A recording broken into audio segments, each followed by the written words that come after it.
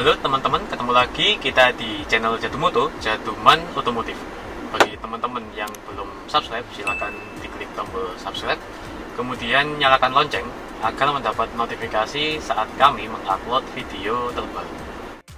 Di video kita beberapa waktu yang lalu, kita sempat mengupload video tentang cara alternatif untuk mengganti shock absorber bagian depan pada waktu itu kendaraannya adalah Grand Innova ya Innova yang ribbon.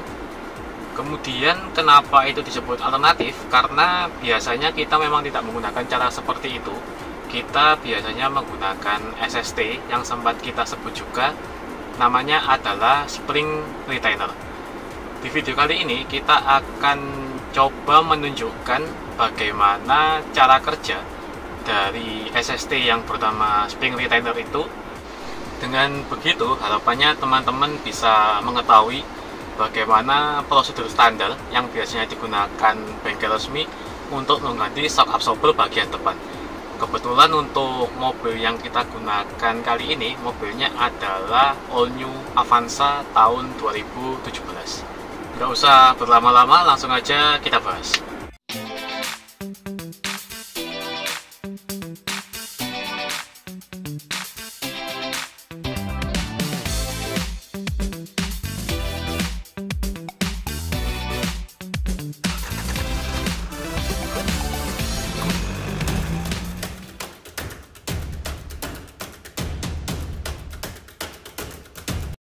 Yang disebut spring retainer adalah alatnya seperti ini, terdiri dari empat buah claw yang nanti akan dimasukkan pada coil spring yang gunanya untuk menahan coil spring supaya tidak lompat atau mental. Di sini ada baut yang bisa dikendori atau dikencengi supaya clawnya nanti bisa memanjang atau memendek. Sementara pada bagian sekop yang membedakan dengan Innova kemarin adalah jika Avanza support yang bagian atas itu bisa berputar karena ada bearingnya. Sedangkan untuk yang Innova itu supportnya tidak bisa berputar karena tidak ada bearingnya. Ketika kita akan menggunakan spring retainer, yang pertama kita lakukan adalah memasang keempat claw pada coil spring shock absorber. Empat claw ini dimasukkan pada coil spring eh, sampai pas posisinya pas dan kalau bisa itu pada posisi terluar dari coil spring ya.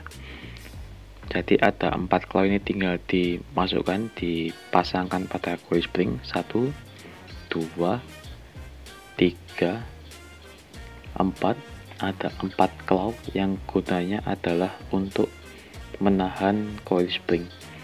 Setelah kira-kira pas bisa masuk. Kemudian kita kencangi baut penyetel dari spring retainer. Hal ini akan menyebabkan spring retainer akan memendek. Clawnya itu akan memendek sehingga dia bisa menahan coil spring dari lompat atau mental saat nanti kita melepas shock absorber dari supportnya.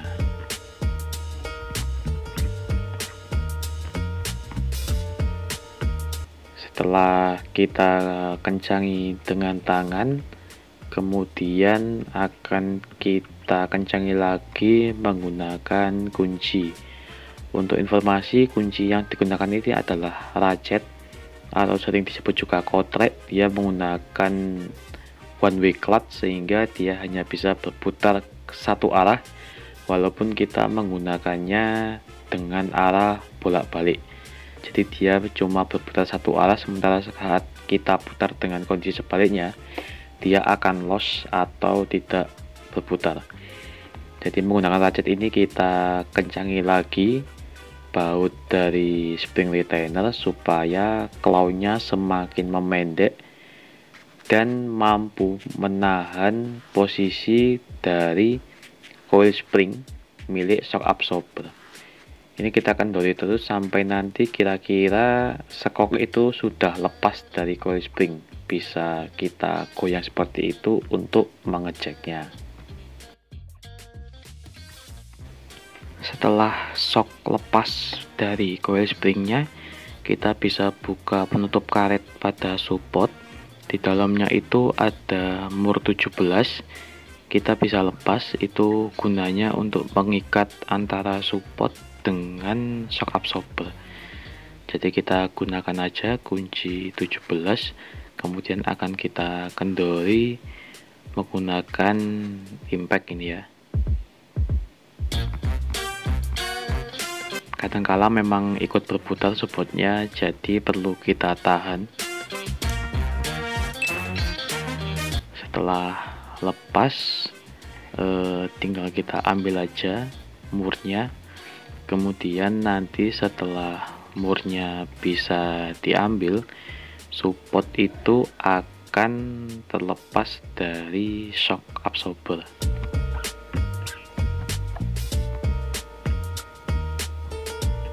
setelah lepas kita bisa lihat kalau itu ada piringnya yang bisa membuat supportnya tadi berputar.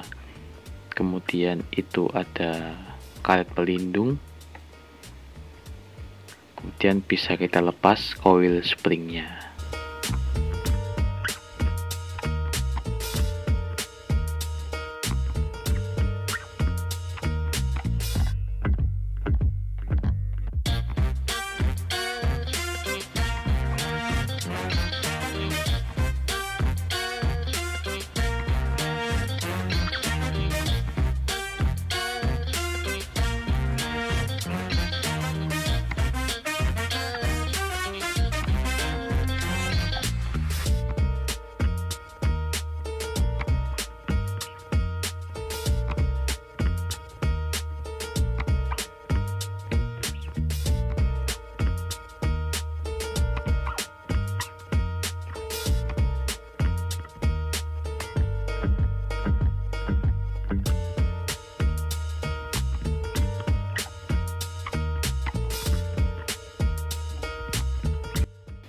sedikit informasi pada bagian shock dan support. Untuk baut pada shock dan lubang pada support itu kondisinya tidak lingkaran sempurna ya lubangnya. Ada eh, knock atau garis lurus yang nanti apabila kita memasang support pada sekok itu garis lurus pada supportnya harus lurus dengan garis pada sekoknya untuk proses memasang kembali shock absorber yang pertama kita akan pasang stopper karet. Kemudian kita masukkan coil spring.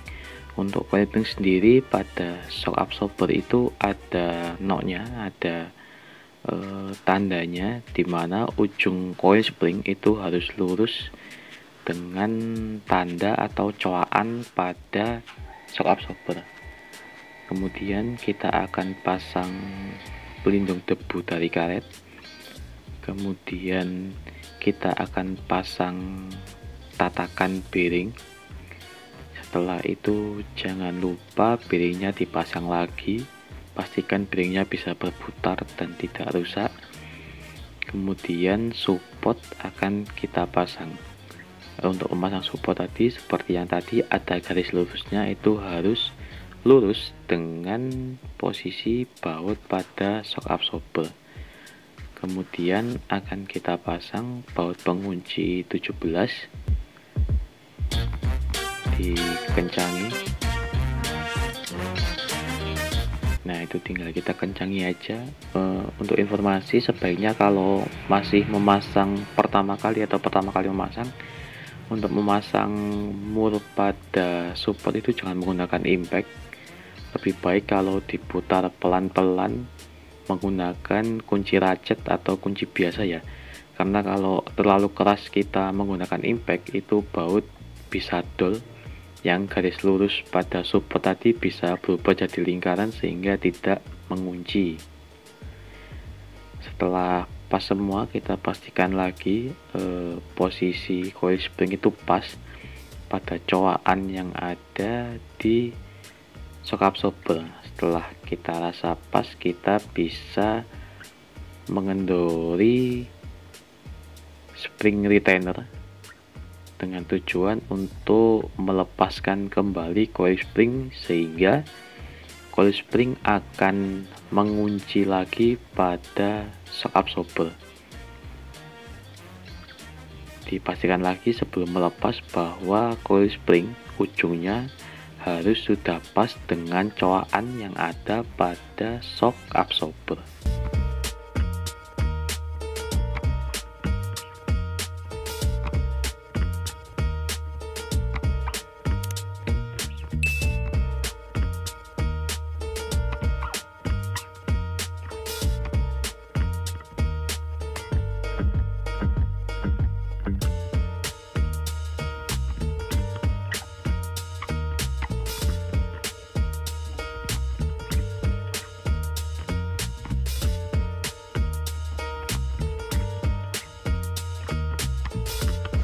Seperti tadi di video yang kita bahas bahwa pada Avanza itu untuk support dan shock absorbernya itu ada bearingnya atau rollernya sehingga support bisa berputar. Kalau supportnya bisa berputar, tentu saja itu lebih mudah kalau kita menggunakan spring retainer daripada seperti kemarin yang waktu kita bongkar Innova karena Innova tidak ada bearingnya sehingga supportnya itu tidak bisa berputar. Sehingga untuk kendaraan Innova baik yang e, ribbon ataupun yang biasa akan lebih efektif kalau kita menggunakan cara alternatif di mana kita sesungguhnya tidak perlu untuk melepas support kalau hanya untuk mengganti shock absorber sementara untuk kendaraan seperti Avanza yang ada bearingnya itu lebih efektif jika kita menggunakan spring retainer karena supportnya bisa diputar-putar sesuai dengan posisi dudukan pada bodi untuk pemasangan support shock absorber. Bagi teman-teman yang sekiranya tidak punya spring retainer, tidak bisa menahan coil spring saat akan melepas shock absorber, bisa diakali dengan menahan terlebih dahulu coil spring saat support dan sekok itu masih terpasang. Jadi saat posisi masih terpasang, masih utuh, kita tahan coil spring dengan melilitkan kawat atau kabel tis atau apa pun yang sekiranya bisa menahan coil spring agar tidak memuai saat kita melepas support. Namun saat kita melakukan menahan e, spring dengan kawat atau dengan kabel tis ini tidak 100% aman karena kemungkinan kawat ataupun kabel tis itu juga bisa putus sehingga menyebabkan oil spring bisa mental atau meletak karena terputusnya kawat ataupun kabel yang kita gunakan untuk menahan. Kira-kira seperti itu video kita kali ini tentang cara penggunaan atau proses penggantian shock absorber kendaraan all new Avanza tahun 2017. Semoga video kali ini bermanfaat. Boleh di like. Kalau ada yang kurang jelas boleh ngobrol di kolom komentar boleh juga di-share ke teman-teman yang lain agar kita mendapat informasi tentang cara penggantian shock absorber kendaraan Avanza tahun 2017. Terima kasih telah menyaksikan video kami.